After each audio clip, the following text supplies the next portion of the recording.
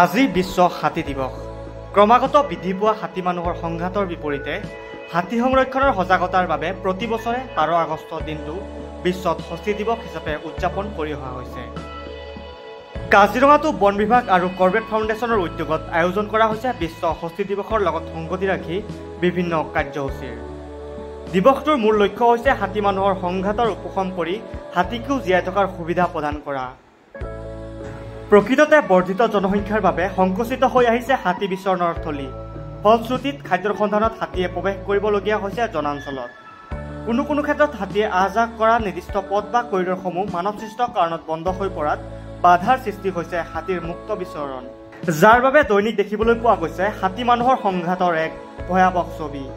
এই ক্ষেত্ৰত মন কৰিবলগীয়া যে বৃহৎ সংখ্যক বন্যহস্তীৰ আৱাভূমি কাজিৰঙা ৰাষ্ট্ৰীয় উদ্যানৰ হাতীয়ে দাঁতিকাষৰীয়া গ্ৰাম্যাঞ্চলত প্ৰৱেশ কৰি উপদ্ৰৱ চলোৱাটো নতুন কথা নহয়।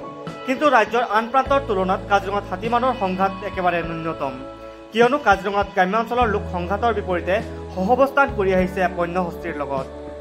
বৰ্তমানৰ প্ৰেক্ষাপটত হাতী মানুহৰ সংঘাতে উভয়ৰ বাবে সংকট কৰি আনিলেও ঐতিহ্যকালৰে পৰা হাতীৰ লগত মানুহৰ আছে এক আত্মিক সম্পৰ্ক।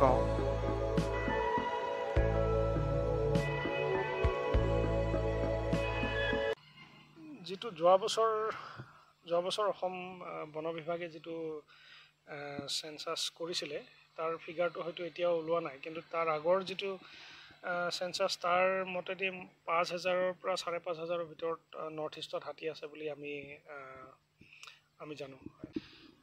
হাতীৰ সংৰক্ষণৰ বাবে আমি বৰ হ্ৰস্বমাদী যিবিলাক মানে সৰু শ্বৰ্ট টাৰ্ম যিবিলাক আমাৰ প্লেন আমি হয়তো সেইবিলাকেই কৰি আছোঁ। আৰু যোৱা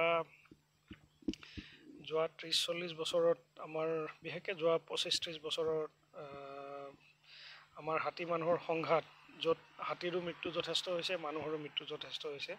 তাৰ আমি দীৰ্ঘমাদী বা কোনো ধৰণৰ পাৰ্মানেণ্ট চলিউশ্যন আমি এতিয়াও যদিও চিন্তা কৰিছোঁ আমি এটাও ইমপ্লিমেণ্ট কৰা মই দেখা নাই।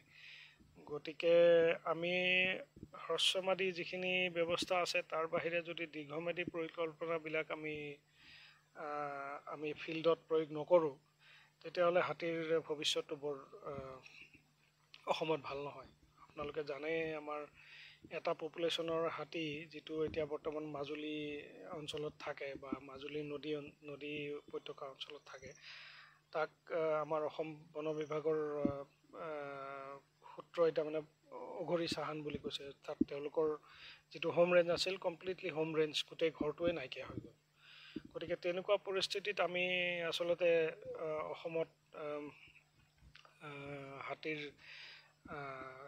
সুপৰিকল্পিত আৰু দীৰ্ঘম্যাদী কোনো ব্যৱস্থা আমি এতিয়ালৈকে ল'ব পৰা নাই। যোৱা চল্লিছ বছৰে আমি হাতীও হেৰুৱাইছোঁ আৰু মানুহো হেৰুৱাইছোঁ। আৰু যদি আমি অতি শীঘ্ৰে সেই পৰিকল্পনা পৰিকল্পনাবিলাক আমি বাস্তৱায়িত কৰিব নোৱাৰোঁ এটা এটাকৈ হ'লেও মই ভাবোঁ অসমত হাতীৰ ভৱিষ্যত বৰ এটা ভাল নহয়।